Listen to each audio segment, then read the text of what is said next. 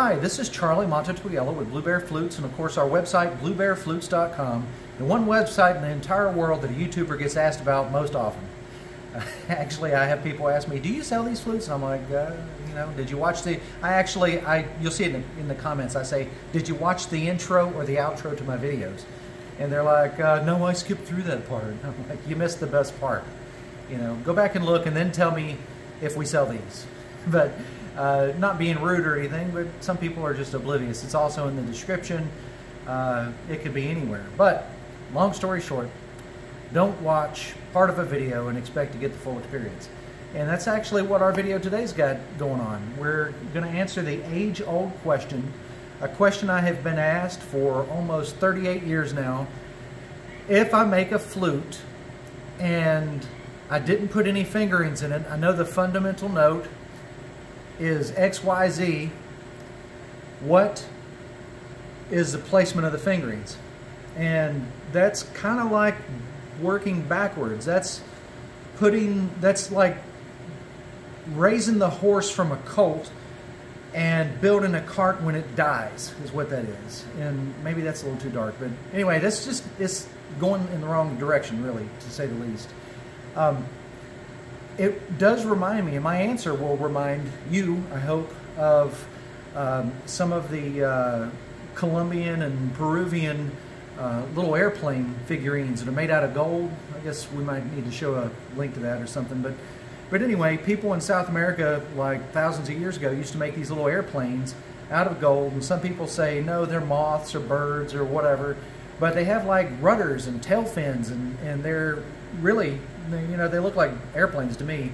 Uh, and then, of course, there's that Egyptian picture with the helicopter in it. But, but anyway, I feel like those people seen something and they tried to duplicate it. Do you think that those gold airplane figurines that they made would fly?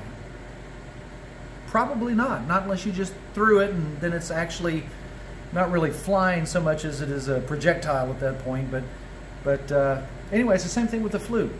I'm going to show you which direction you need to go when it comes to making a flute, how to get started, how to get finished. I've got so many videos on making a flute. This video isn't going to be lengthy about that. This is just a real quick tip video. And it's going to show you basically from start to finish what you need to do. Um, the flute is a simple thing to make. Native American flutes are, of course, one of the simplest instruments I believe in the entire world. And this one, the design of it the only one that's more simple than this is like the rim-blown flutes, which are of course Native American, and of course there's also Hawaiian rim-blown flutes and Japanese shakuhachi rim-blown flutes. But, but those flutes particularly are the only thing simpler than this. And all they are basically is a hollow tube, whereas the shakuhachi has a little slant on it, and quenas do usually have a slant on them, but long story short, this is like the second easiest instrument in the entire world. The hardest part of making this instrument is the piece under this block. I have a dozen videos on that. The fingerings, though, are important, and they're relative, and they're specific, all at the same time. It has to do with the inside diameter and the length of the flute. So back in the day, I used to have people ask me that question. I found the fundamental note of my tube, which isn't a flute at this point, it's a tube. I found the fundamental uh, note of my tube. That means no holes, the bottom note, right? The fundamental note is F. Where do I put the fingerings? And what they want me to respond with is take the diameter, divide that by 3 fourths, and multiply it by the length, and then start at the top, and that's going to be your first. That's crazy did Native Americans ever do that kind of stuff? I mean, we're mathematically inclined, and the people who invented the number zero, but that's just too much work. You're going about it all wrong. It's like building a vehicle and not deciding yet whether or not it's going to be an airplane or a boat.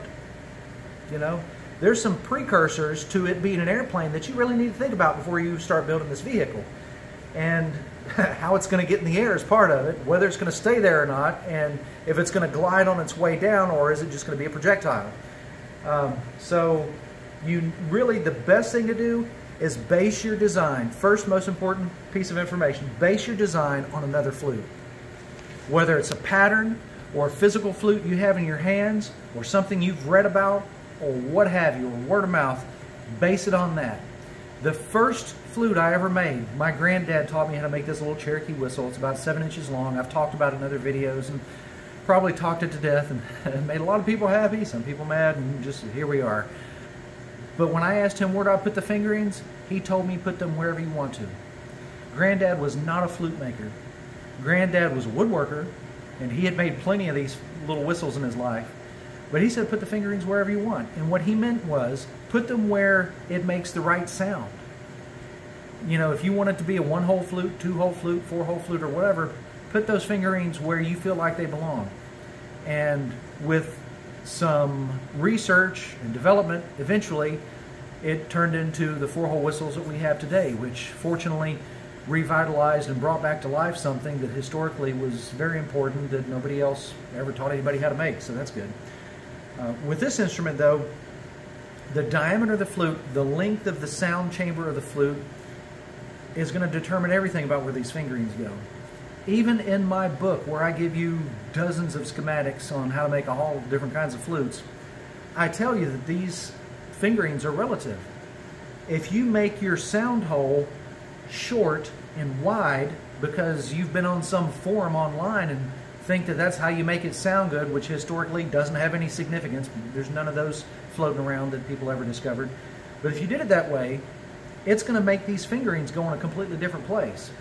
So in my book, I talk about the fingerings being relative.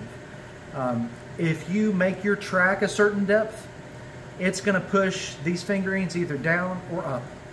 And I can give you some hints on that. I've made a video on um, I believe it's called something like uh, changing your pattern to fit your materials. Uh, look that video up if you're one of these people that feel like you know you've got to do this, that, or the other.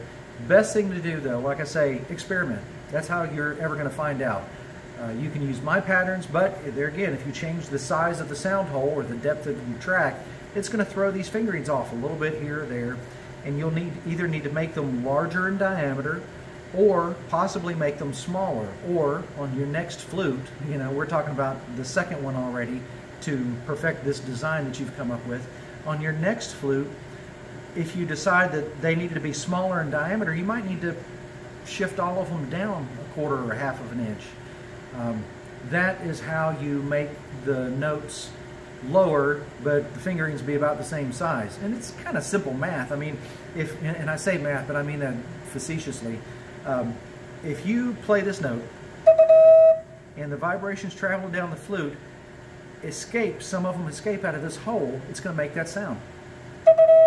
If you cover that hole up, that's, I'll use six hole flute players out there. Let's just pretend that's your third fingering. It doesn't exist, right? Now it's going to make a lower note. So what you do in your pattern, if, if you're uh, trying something and it doesn't work for you on the first flute, the second flute, you need to make that fingering further down the flute. And I actually have um, two patterns that I kept over the years, they're like 20 something years old, um, where I had designed um, a specific flute. One of them was a fully solfeggio flute. It would play nine fingerings, which we don't have nine fingers, you know, to play flutes with. You need to do some things here to make that happen. But, um, but anyway, uh, it played nine notes, or maybe it was 13. I'll have to go back and revisit that sometime. But it played a lot of notes anyway, and um, I had to figure out where some of those notes were going to go because they were such minuscule amounts of frequencies apart that I had to adapt and change my design. And then the other thing I, I did was the uh, low D Quena. My low D Quena uh, went through a lot of phases, and finally, when the finished pattern, the finished design got done, it has tape all over a bunch of fingerings that I drilled, trying different areas and different things, because my goal was to make a flute that could be played comfortably, but play the notes that a low D Quena is going to play. And they were, of course, in a major scale, so it was important to have it a certain way. Major scale flutes, which historically these are not, major scale flutes um, are not, uh, they don't follow the pattern of your fingers are going to go here and there. This is a low E flute. A low E flute for me, medium-sized hands, relatively easy to play. Um, I know people with small hands who can, who can play this with ease, but when it comes to designing the patterns that I used on making our flutes, I went through a number of different uh, phases. All of the patterns of all of the flutes that I make, all the five hole flutes that I make, are based on one flute. It's the oldest river cane flute I ever made. It was a copy of one that I had borrowed from some friends in the Eastern Band a long time ago, like 38 years ago. And um, that flute is where the fingerings for all these others come from. But if you hold it side by side, you'll see that it's in a different location because um, if you put the small high B tone flute uh, fingerings on this low E flute design and size, it's not going to produce a B or an E. It's going to sound like garbage. And so it took a lot of practice and, and willpower to, uh, to make that happen. And fortunately, I stuck with it, and here we are today.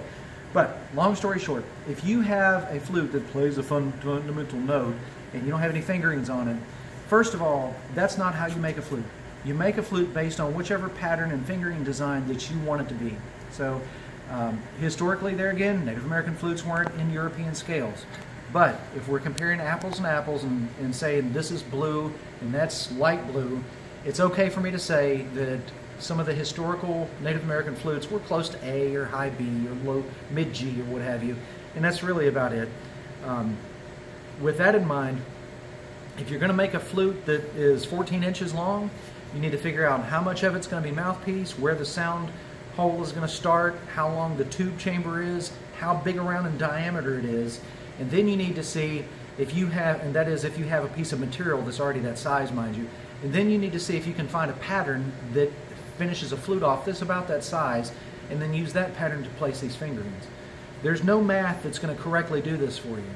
There are uh, apps and, and, programs online people have used for years and call me and say, I followed this program to the T and it doesn't play right. And I'm like, well, that's your problem. Flutes are made by people. You've seen videos of mine where I have some very complicated machines helping me get these things started, but flutes, this was made by my hands and my wife's hands. Uh, flutes are made by people, not by machines.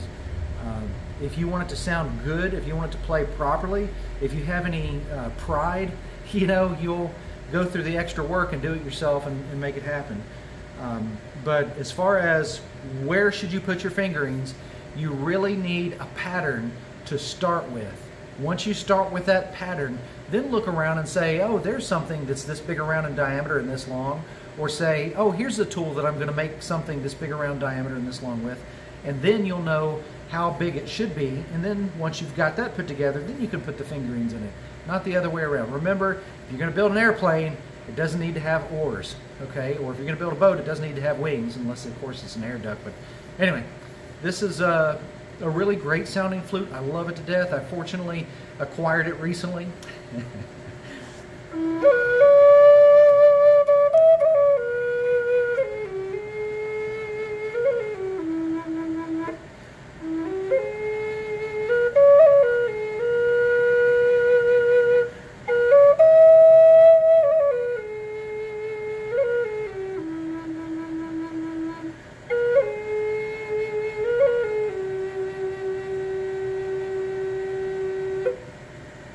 notice that tail stopped flapping around as soon as I started playing. She's half deaf though. Anyway, like I said, you've got in your mind now what it takes to make a flute. This part here, I've got a lot of videos on. It deserves a great deal of time and study. The inside of the flute, not really that important uh, as far as it being burr-free and perfectly this and fine that. You know, I've seen some ugly flutes on the inside that sounded magical. I mean, unbelievably so. Um, there's a lot of stuff to think about. We'll be covering a lot more of this in some upcoming videos. And most importantly, what I hope you got out of this is before you make a flute, figure out what pattern you're going to use. Otherwise, you're just making a tube. And the tube can make a sound, and you might consider it a flute, but it doesn't have any fingerings. So think about that. I know it's kind of like, you know, you need one before you do the other. Um, but uh, but that's really important. Some one other thing I'll leave with you too. I'm reminded when I think about this flute and how I acquired it. Um, some people don't realize if you play a fixed intonation instrument um, in the cold weather, that it is going to be a different tone. So keep that in mind. Usually we tune at between 72 and 76 degrees in here in the shop. If it gets too hot, we cut it out. If it's uh, 85 or 90, I know exactly on my tuner what to set it to so that I compensate for the temperature and they come out perfect every time. Um, if it's 65 degrees, I can make a flute well that's at 65 degrees, but I usually prefer to keep the heat on and make that happen. So um, if you take this flute, which is perfectly in tune at 440 uh, A as an E flute, if you take it out to a temperature that's 50 degrees, you're going to come up with a whole different sounding instrument. Keep that in mind. But anyway, I uh, hope you guys have enjoyed this video. If you haven't seen it yet, don't forget to check out my hundreds of other videos on making and playing Native American flutes. I've got tips and tricks on everything. Like I said, I've done this for a lot of my life. Um, I do have an upcoming video or two that I'm thinking of. I'm not going to tell you the names of them or what they're about, but there's a couple of them you might want to really keep an eye out for. They'll help you in a lot of ways. So I hope you are doing well. I hope you've had a good time enjoying uh, your Native American flutes whether you're playing or listening or building them.